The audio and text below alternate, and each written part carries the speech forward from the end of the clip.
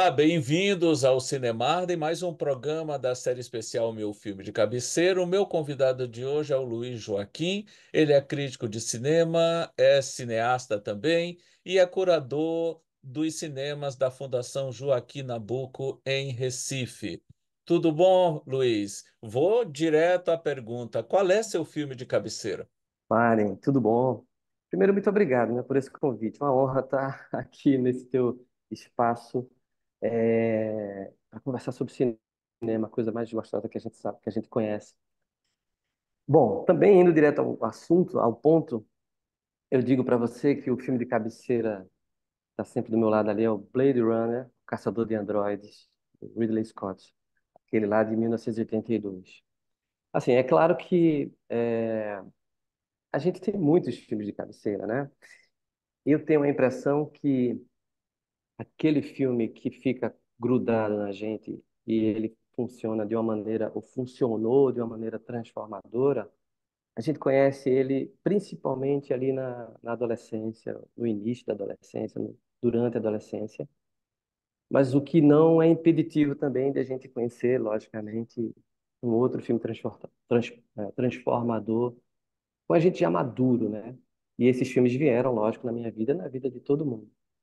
É, mas o Blade Runner, ele tá ali no, no lugar especial, é, é, porque ele foi o primeiro que me fez perceber o mundo de, e as pessoas, né? Na verdade, a existência de uma maneira diferente. Isso eu com 16, 17 anos, assim, saí do, saí da sala absolutamente baratinado e sem entender onde é que eu estava e por quem era eu e tudo mais. Então, a primeira experiência que você teve com esse filme foi no cinema. Você consegue, você acabou de dizer que foi um- uma experiência transformadora. Você lembra bem como esse filme te impactou quando você o viu pela primeira vez? Lembro, sim. Eu lembro que, bom, não, não foi em 1982, eu eu não tinha idade, mas houve uma reprise em 1987, né? Ainda aquela versão é, que a Warner lançou originalmente, né? Com a narração, né? com a narração, sem a cena do unicórnio, né? E É, com final e, feliz, né? e com o final feliz, exatamente. E aí, e aí, é, mas, a, mas aquilo já foi um- um- uma explosão na minha cabeça. assim. Eu vi no Cinema Veneza, né, um cinema que não existe mais aqui no Recife. É, era uma tarde, sei lá, terça-feira à tarde, eu, eu não, não trabalhava, era só um estudante ali de segundo grau. Fui pegar um cinema numa terça-feira à tarde, né, e saí quatro e meia do cinema, eu acho, né.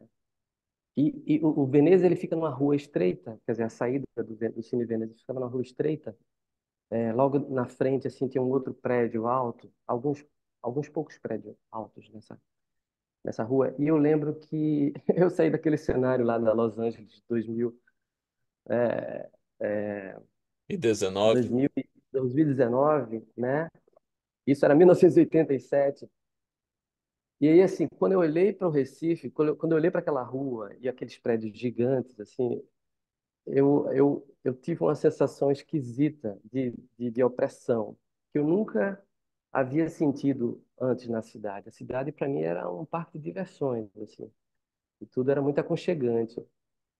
E eu lembro que quando eu olhei para cima, eu saí do, do cinema, do Veneza, olhei para cima e parece que eu estava na Los Angeles de 2019, com toda aquela com toda aquela ambientação é, sombria, mas era o Recife, quatro e meia da tarde, assim, no, no, no mês de no mês de verão, no, no- sabe?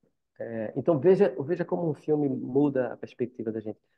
Mas isso era uma sensação é, é, física, né? Que, é, é, estou tentando traduzir aqui, mas tem uma tem uma sensação psicológica que aí era doida, porque é, esse filme é, é, apresenta os personagens que querem apenas entender a razão é, da finitude da vida, né? E, e como qualquer ser humano, eles amam a vida, eles querem mais vida, né? Mas a gente morre e, e- e isso não tem uma explicação, não, não tem uma, não tem uma razão por- pela qual a gente está aqui, ou, ou a gente, a gente busca razão, enfim, é filosofia pura. E eu acho, eu acho não, eu tenho certeza que eu nunca tinha sido é, colocado de frente tão fortemente num filme com essas questões. Daí eu fiquei pensando muito na brevidade da vida. Eu tinha 16, 17 anos. Isso foi maluco. Você falou aí nessas questões todas, isso me lembrou, obviamente, o, o, o lema da Tyrell Corporation, né? Mais humano que o humano. E no caso do filme, são os replicantes, ou seja, aquelas, é, aqueles seres criados em laboratório para serem mais humanos que os humanos, que têm um prazo de vida pré-determinado, quatro anos que justamente questionam tudo isso que os humanos já não questionam mais. Se você vê que os humanos, os, os, os, os, aqueles que nasceram normalmente, não foram criados em laboratório, eles vivem assim, padrão Zeca Pagodinho, deixa a vida me levar. Já o, os replicantes não, eles buscam um sentido para a vida. O que é que eles estão fazendo aqui? quanto eles vão viver? Eles podem viver mais? Eles podem ter emoções e, e vários questionamentos que no filme os humanos não têm mais. Esse papel cabe justamente aos humanos mais que humanos. Perfeito. É, e, e aí a gente, a gente fica pensando na, na belíssima sacada, né, do, do Philip K. Dick, né, o, é o, o autor do romance do, que gerou o filme. É você criar personagens mais humanos do que os humanos, porque esses humanos estão saturados, né, de, de é, enfim, da vida, assim, né, não da vida, mas é, é de um, é um ambiente opressor, é um é um ambiente cansativo. É, ele, ele, ele projetou lá para o futuro, né, 2019, e, e, e é um pouco como a gente percebe o mundo, não em 2000, sim, em 2019 também, mas 2024, enfim, o século 21 é uma é uma saturação atrás da outra, assim. É, Mas a beleza está em todos os lugares, assim. A gente, a gente e, a violência e a, e a dureza também, né? É, E aí, gente, quando, quando ele coloca criaturas fresquinhas que viveram poucos anos, é, mas elas precisam ser extintas, é, elas precisam acabar, né? A urgência, ou seja, a urgência da vida acorda a gente para para muita coisa. E, é- e, e é a partir de, é a partir disso que o filme é desenvolvido, né? essa, essa, essa corrida desesperada lá dos replicantes por mais tempo. Enfim, eu, eu, eu acho que esse é um papo tão sofisticado, sabe? Que até hoje eu não dou conta. Talvez seja por isso que a gente queira tanto ver e rever esse filme o tempo todo, assim. E não apenas por isso, né, Marden? A gente sabe que o Blade Runner tem uma combinação única de, assim, muito, muito especial, né? De, de efeitos visuais, né? É, de design, de figurino, da trilha sonora do Vangelis, é aquela coisa deslumbrante, de arrepiar.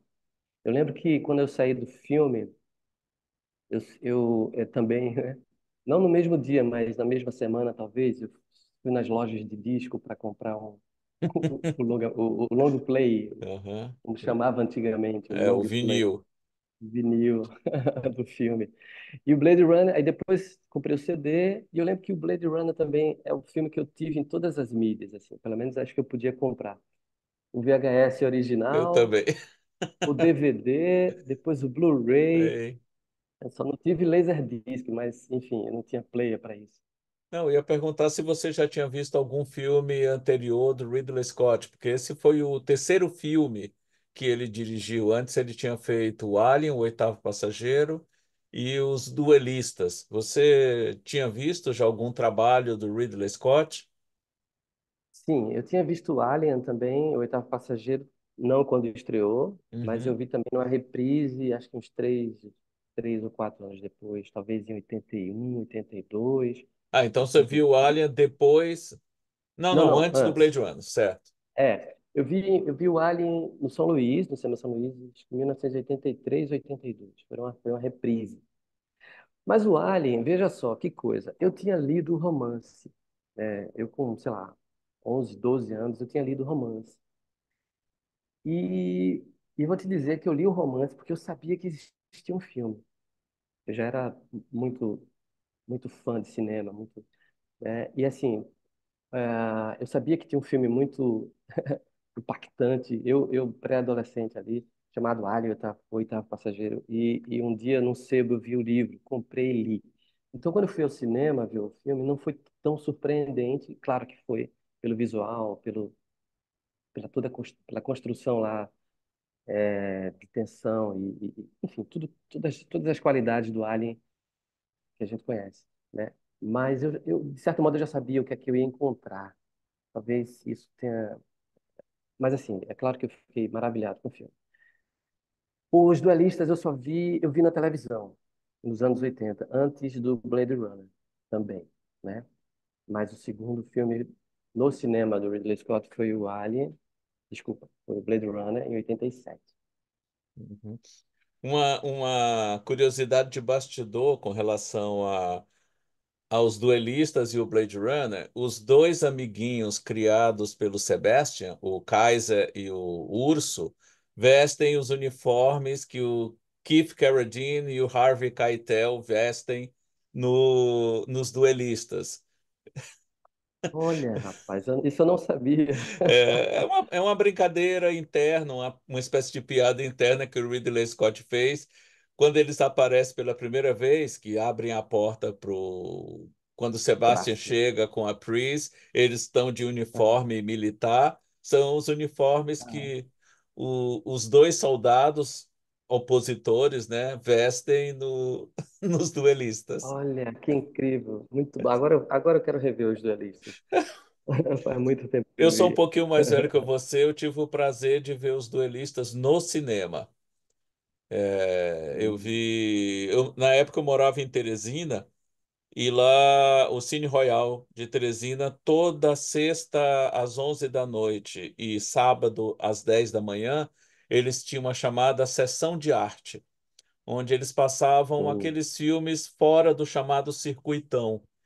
Então eles exibiam musicais, eles exibiam filmes clássicos, eles exibiam eh, filmes de terror. E, e filmes assim considerados alternativos, né? E, Sim. e numa dessas sessões eu vi os duelistas, que eu não fazia a mínima ideia quem era Ridley Scott, nunca tinha ouvido falar dele. E naquela época você não tinha acesso fácil à informação como a gente tem hoje. Então eu vim descobrir quem era o Ridley Scott por conta do Alien. E aí foi que eu fiz a conexão, né? Ah, é aquele cara que dirigiu os duelistas. E, e eu gostei muito dos duelistas. E, claro, gostei bastante do sim. Alien quando estreou. E fiquei muito ansioso quando eu vi o cartaz do Blade Runner. E depois eu vi o trailer. Não, por uma série de razões. Era um filme novo do Ridley Scott, que eu, que eu já tinha Uhum. gostado dos dois filmes, e era estrelado pelo Harrison Ford, que eu era, já era fã do Han Solo, do Indiana Jones, era um ator que, que eu gostava de, de ver em cena, né? Que tinha aquele chamado physique de rôle para esse tipo de papel. Era o grande herói do cinema na época. Então, mas uma coisa que me chamou muita atenção foi uma frase do cartaz. É, o homem criou o homem à sua imagem e semelhança. Agora o problema é seu. Aquela, aquela, aquela frase do cartaz eu achei, eu achei assim muito convidativa, pelo menos foi para mim. E estava de férias no Recife e não, não tinha outro programa melhor naquele mês de dezembro do que ver o Blade Runner no Cine São Luís. Poxa vida, isso aí não tem preço, viu? Blade Runner no Cinema São Luís. E pela primeira vez, né, Marley? Pois. É... Pois é, o, o... eu vi o Alien no São Luís e... e é incrível como aquele cinema ajuda o filme, né? Se o filme, se o filme não é, se o filme é razoável, ele fica melhor. Uhum. Se o filme é essa coisa deslumbrante em, em todos os sentidos. Ele fica, se torna inesquecível, a sessão se torna inesquecível, pelo menos. É, mas o que você fala sobre, sobre a frase do. Você estava dizendo, você lembrou bem, né? É Era uma época que a gente não, não tinha um acesso tão, tão fácil às coisas, a gente não podia rever é, o filme, tinha que esperar o filme entrar em cartaz de cinema. E aí um grande refúgio, eu lembro, era exatamente a trilha sonora, né? Porque a gente comprava os discos para ouvir em casa e curtir a, beleza eh, das, das composições, das músicas, e tal. Mas elas também, de algum modo, dentro da cabeça da gente, elas refrescavam, né? A memória visual também. E, e, e eu lembro que eh, quando eu comprei o VHS original, custou uma fortuna para mim na época, né? Eu ficava chamando os meus amigos, eu ficava chamando todos os meus amigos, fazia sessão de Blade Runner lá em casa, Martin. Mas, E tinha que ser de madrugada. Tem, é, tinha que ser de madrugada. Meus pais estavam dormindo, Lindo. e aí juntava uns, umas quatro, cinco pessoas lá na, na sala, colocava o videocassete, a gente via Blade Runner, e aí depois colocava o disco para tocar e a gente ia conversar sobre o filme. Eu... Era um, era um embrião de programador de cinema. Pois é, mas Luiz, eu era mais doido que você. Quando o Blade Runner, eu, eh, eu tinha um hábito de fazer isso com meu irmão. Quando o Blade Runner estreou em Teresina, no começo de 1983, eu fui ao cinema várias vezes. Eu devo ter visto, naquela época que ele estreou em Teresina, cinco ou seis vezes no cinema. E o, quando eu gostava de um filme, e eu fiz isso com Blade Runner, fiz isso com o primeiro Superman, com Christopher Reeve, fiz isso com Laranja Mecânica, que eu adorei, aquela famigerada versão com as bolinhas, né, que depois eles limparam. É, eu levava um gravador, cassete, dentro de uma mochila para o cinema Uau, e gravava o filme em, em cassete, só o áudio, né? cassete. Ligava, aí gra- eh, cada, cada fita tinha meia hora de cada lado. E aí eu gravava um lado, parava, voltava para ver o filme depois, gravava a segunda vez, a, a continuação a partir do ponto que eu tinha parado, e por isso que eu vi quatro vezes o Blade Runner, eu via em média os filmes quatro vezes para poder gravar o filme inteiro. E aí depois eu escutava em Caramba, mas casa o áudio, né? E na você tem época, essas fitas ainda? não, isso faz muito tempo, tem mais de 40 anos isso.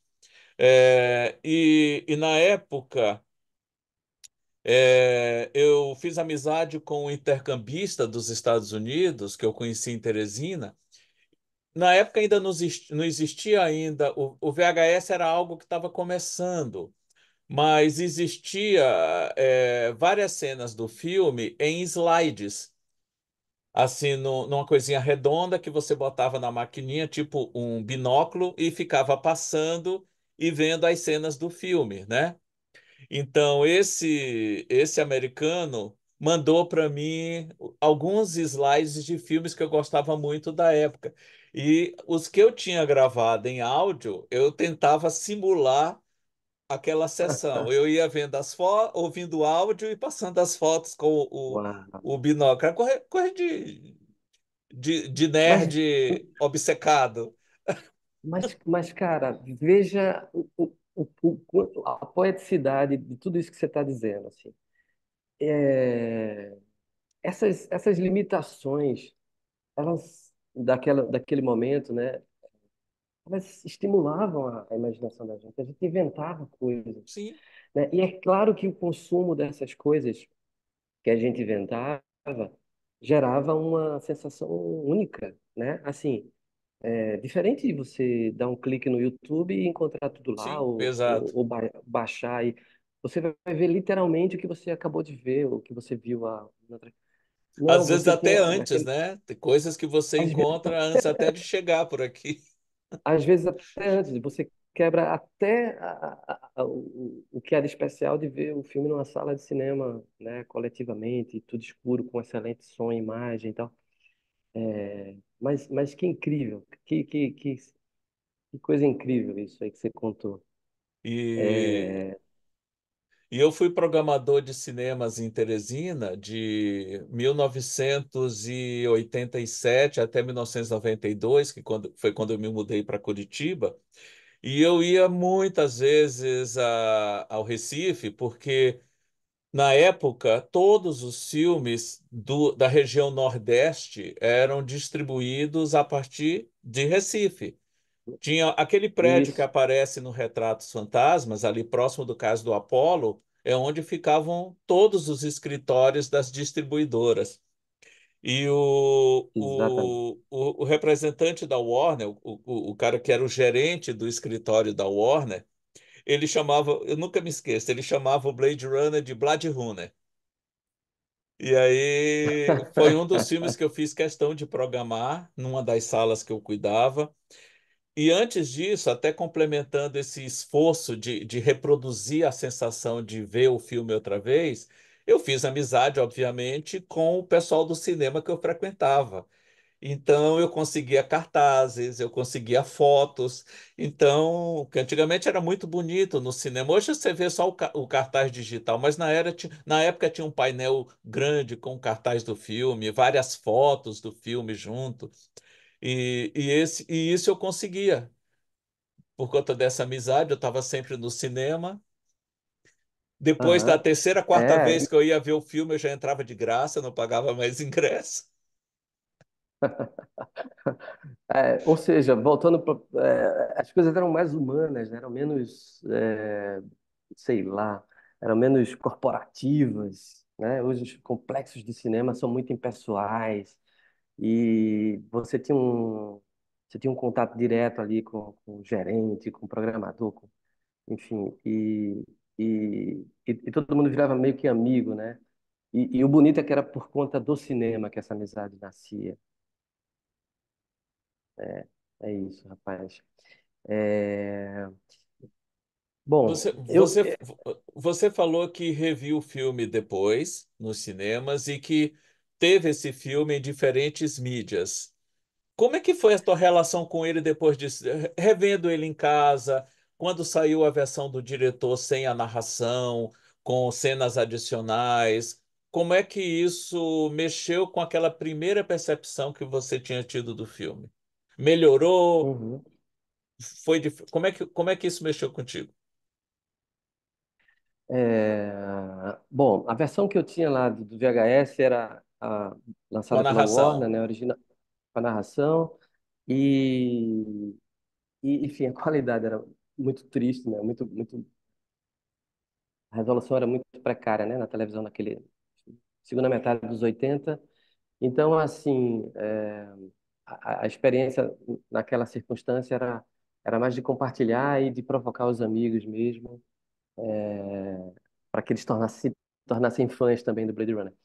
O, ah, o, Director's Cut, né, ele ah, foi ali no início dos anos 90, né, e ele, eu esperei para ver no cinema também, né, ele chegou aqui acho que em 94, 93, não noventa sei. e três noventa e três É, e aí é, eu adorei, né, eu, ach, eu lembro que eu ficava eu- eu- antes de, antes de ir para a sessão, eu ficava muito desconfiado. Disse, Poxa, será que mexeu muito? Será que vai interferir muito é, é, no que a gente já conhece?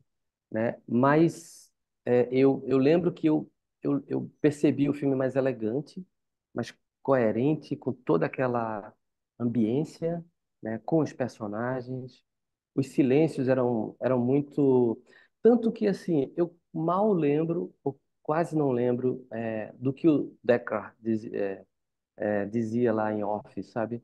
Ou seja, aquilo realmente não fazia falta nenhuma. Eu fico imaginando Ridley Scott enfurecido com a Warner determinando que, que tem que ter um off ali. Não É, ele, não ele, mas o próprio Harrison Ford, né, é, também. você, eu revi a narração dele anos depois de, de ter visto muitas vezes a versão sem a narração.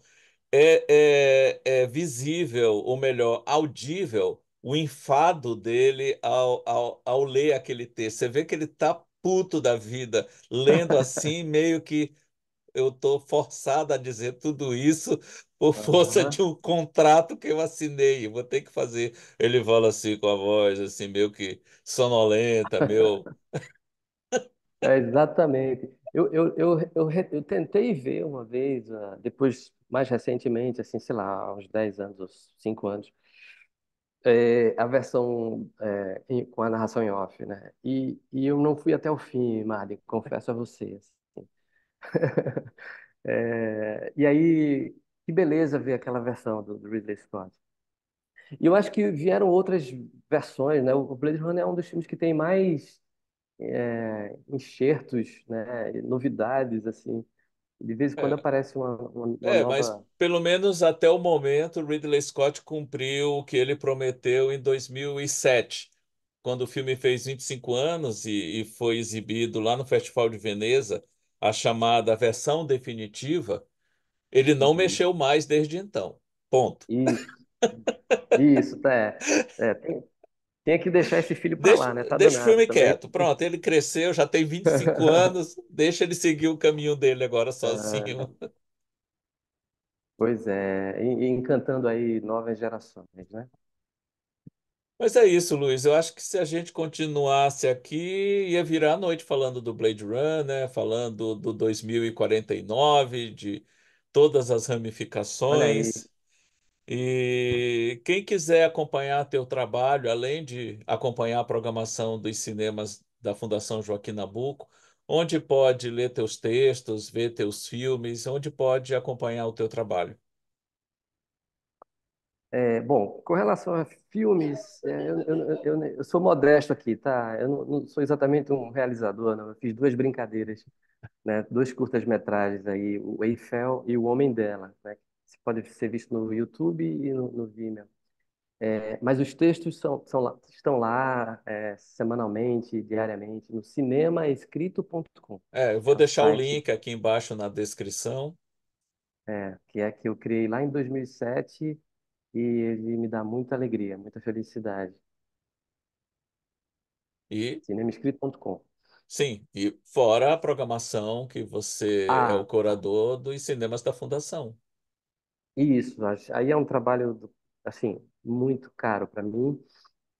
Começou lá em 1998, né, ao lado do Kleber Mendonça Filho. Eu li que E, você foi enfim, estagiário da Fundação antes de começar a trabalhar efetivamente lá, né? Exatamente. O cinema, a coordenação do cinema era Kleber e mais duas pessoas, além da- do, do corpo operacional, né, projecionista, Justo. bilheteiro, porteiro. Uhum. E eu era o estagiário. Aliás, era Kleber, uma pessoa e eu de estagiário. A gente Uhum. construiu aquilo junto. Eu conheço as E salas do cinema da Fundação. conhece? São Conheço. salas, são gracinhas, né? São, são muito São. boas. Uhum. O E aí, em 2000, e- Derby e, e- e o, e o próprio cinema da Fundação. Tem um novo agora, um terceiro, né? tem uma sala Essa, é, eu- no... essa eu não conheço ainda. A próxima vez que eu for ao Recife, eu vou visitar. Olha, você precisa vir. Fica no 16º andar, no bairro do Recife. É, enfim, é um ponto turístico lá. Então, é, é isso. E- e desde 2001 que a gente está lá nessa, nesse espaço é, tramando filmes aí para todo mundo crescer e se tornar um ser humano melhor. Obrigado, Luiz Joaquim, e até o próximo Cinemarden.